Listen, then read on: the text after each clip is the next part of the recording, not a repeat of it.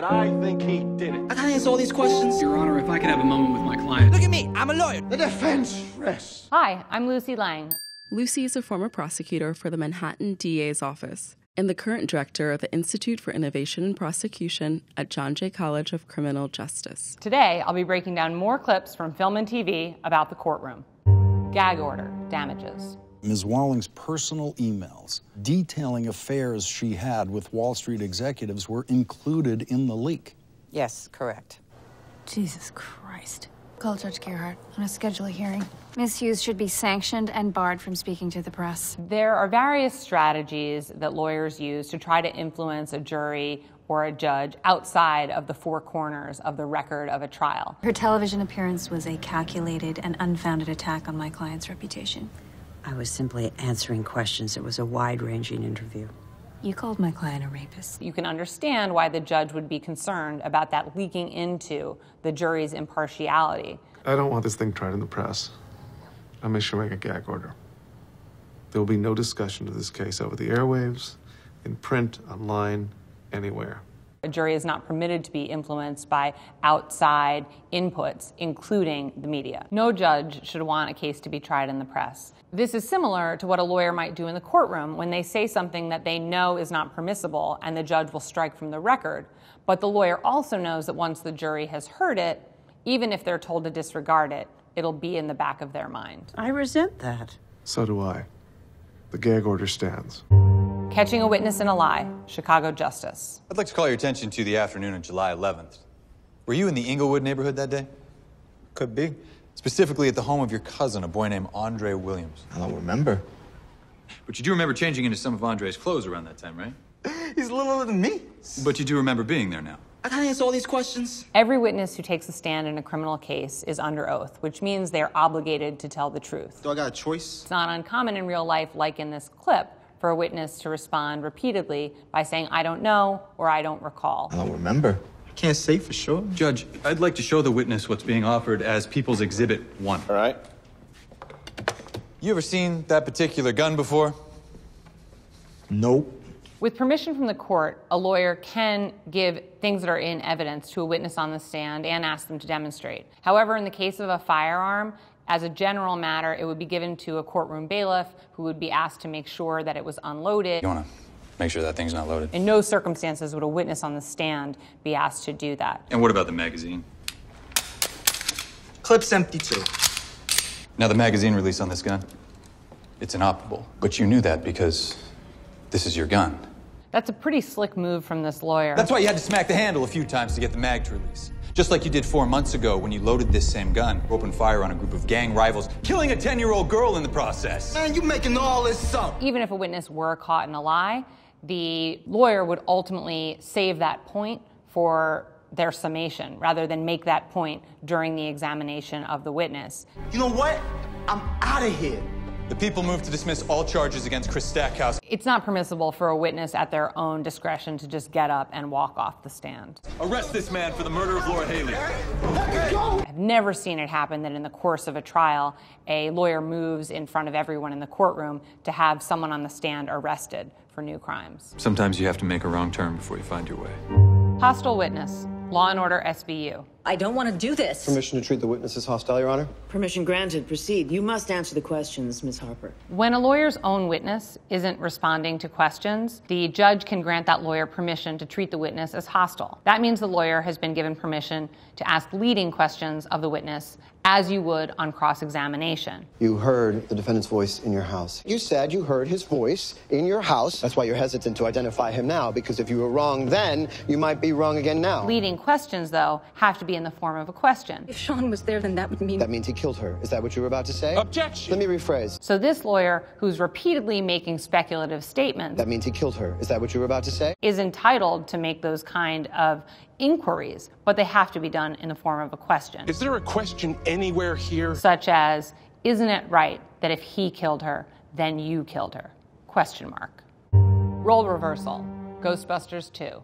So you were just trying to help out a help out a friend who was frightened, who was scared of what was happening to her when you're scared. Objection. no evil There was no evil intended. No ma- Objection. What is the witness doing here? The lawyer should always be the one asking the questions. Where the person on the stand is feeding the questions or commentary to the witness, the opposing counsel should definitely object. Objection, Your Honor. And the objection should be sustained. Sustained. Witness preparation. Seinfeld. On the afternoon of September 10th, you received a phone call, did you not? Phone call? Yes, a phone call. From who? From me. From you? Yes, from me. From me, I called you, remember? Lawyers are permitted to prepare their witnesses before trial, and in fact, it's a best practice to give your witness adequate preparation. What's the matter with you, you jerk? We had it all worked out. It's endlessly surprising to me, though, that no matter how many times you prepare a witness, there's no accounting for what someone remembers or says in the moment. What was the question? That said, I think that Newman's reaction is a little bit over the top. Your Honor, Mr. Kramer's obviously very distraught. I'm distraught. You shut up! Admissions on the stand from Mad TV. The defendant is a flight risk, Your Honor. If I was a flight risk, I wouldn't even be here. I could be in another country this afternoon if I wanted to. I got friends who can create false passports. One of the reasons that people who are charged with crimes are discouraged from speaking in court is because anything they say on the record can be used against them. Careful, Mr. Henry. Right now, you're only being charged with armed robbery. Even if it is an acknowledgement of other uncharged crimes. I don't need the money. I'm a drug dealer. Like here. Motion to dismiss. Erin Brockovich. And I have here 84 motions to strike. In both civil and criminal matters, the parties have an opportunity to file a motion to dismiss on the grounds that the complaint itself is legally inadequate. It is the order of this court that each of the 84 motions to strike and demurs are denied. Once a motion to dismiss has been denied, negotiations often start in earnest. $20 million is more money than these people have ever dreamed of. Oh, see, now that pissed me off. First of all, since the demur, we have more than 400 plaintiffs, and let's be honest, we all know there are more out there. $20 million isn't when you split it between them. Erin. Before you come back here with another lame ass offer, I want you to think real hard about what your spine is worth, Mr. Walker. Or what you might expect someone to pay you for your uterus, Miss Sanchez. The majority of civil cases don't go to trial. Often they are resolved after negotiations with a plea so that everyone can cut their losses and go home rather than risk the very high stakes of a trial and ultimately a much greater settlement. Take out your calculator and you multiply that number by a hundred. Anything less than that is a waste of our time. Throwing the book at someone from Crime Story. They probably planted it uh, investigating Taglia's link to the KGB. KGB? Well, it's strictly speculation, but word on the street is that Taglia is selling nuclear uh, secrets to the Russians. I mean, I don't know how true it is, but. The... Your Honor, the man's a liar. That is a complete lie. Your Honor, do I have to suffer these indignities right here in the halls of justice? The actor playing the lawyer is actually my dad. We still got a trial, remember? A lawyer is permitted to refer to a witness lying, but not to call a witness a liar. Your Honor, the man's a liar. If a lawyer were to actually throw a book or anything else at a witness, that is a complete lie.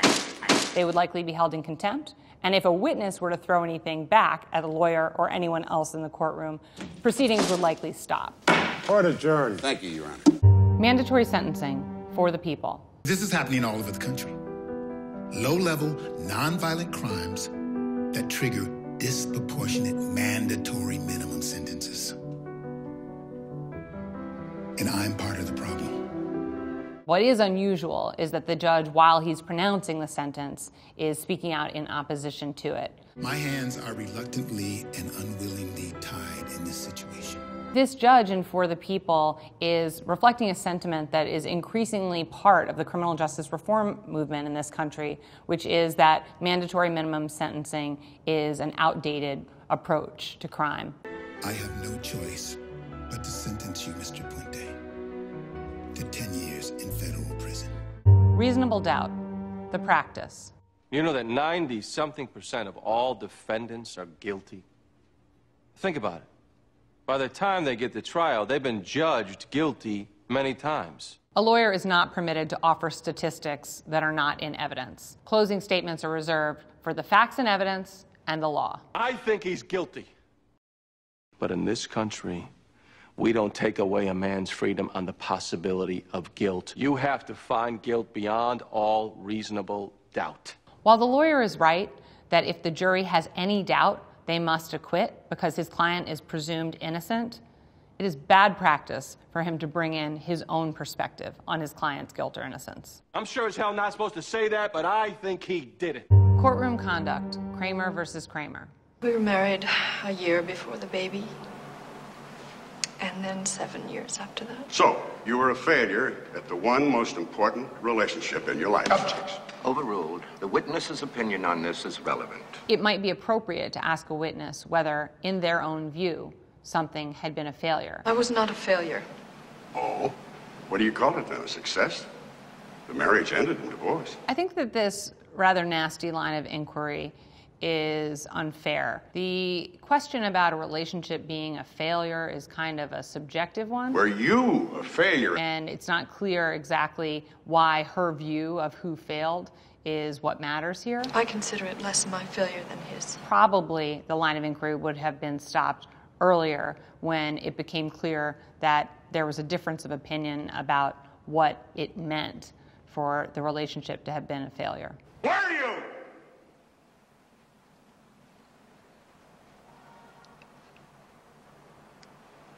Her ex husband in the courtroom trying to convey something subtly to her might sway her answer, and a judge, if they noticed it, might respond by stopping their uh, subtle communication. Custody hearings, big little lies. I just want you to know how sorry I am that it's come to this. There's nothing preventing opposing parties from speaking to each other off the record during a custody hearing. But at the end of the day, we are still family. Of course, they should bear in mind that things that are said can be used by one party against the other. This is awfully different from when we last saw Meryl Streep in a custody hearing in Kramer versus Kramer, probably 30 years ago. And in that case, too, she was communicating with someone off the record. We're not family, Mary Louise. Irrelevant evidence, South Park. Ladies and gentlemen, this is Chewbacca.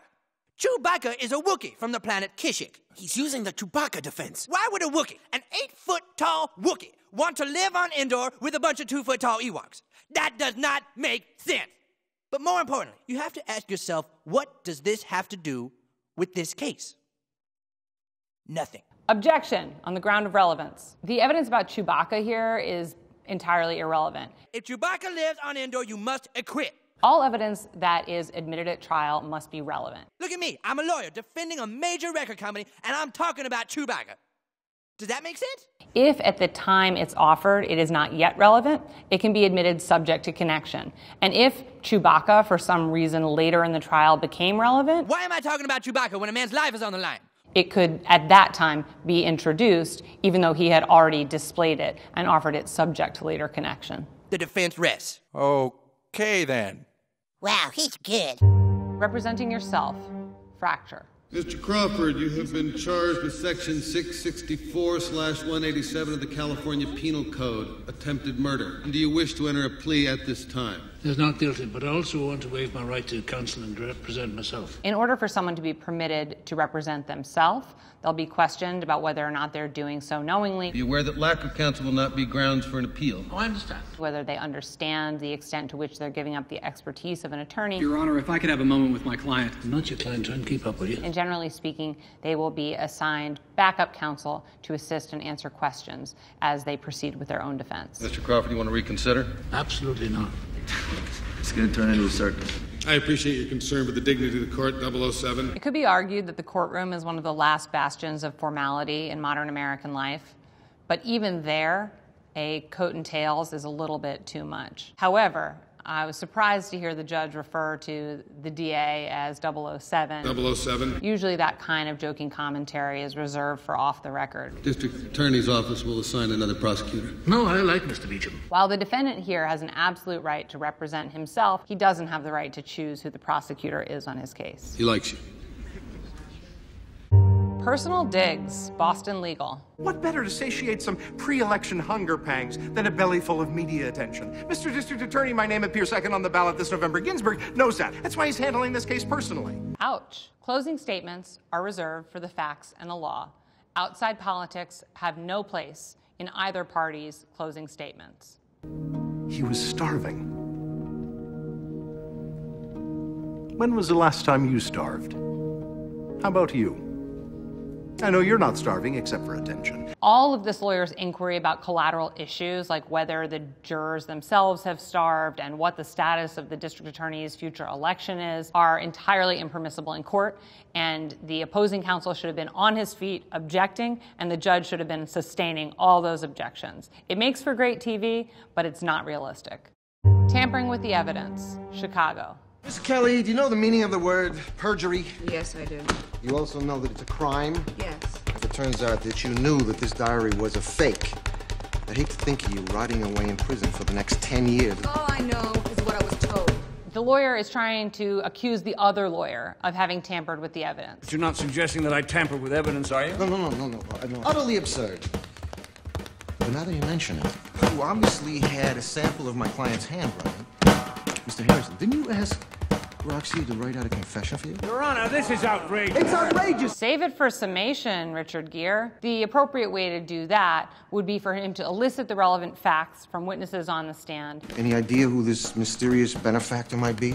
No. Introduce the relevant material evidence into evidence, and then on summation, explain his theory to the jury. Not to do it while there's a witness on the stand. The defense rests. Summation The People versus Larry Flynt. I'm not trying to convince you that you should like what Larry Flynt does. I, I don't like what Larry Flynt does. But what I do like is that I live in a country where you and I can make that decision for ourselves. But then ask yourselves if you want to make that decision for the rest of us. Because the freedom that everyone in this room enjoys. Objection. Up until this point, Edward Norton is totally appropriately talking to the jury about the context of the case. We live in a free country. You and I can make that decision for ourselves. But once he starts suggesting that the jury should have a role in setting policy for everyone and thinking about how this plays into the future of the country, Ask yourselves if you want to make that decision for the rest of us. he's stepping beyond the bounds of an appropriate closing statement. That's not freedom. The American legal system is incredibly complex, and no TV show or movie gets it exactly right. That said, it's a lot of fun to watch them try.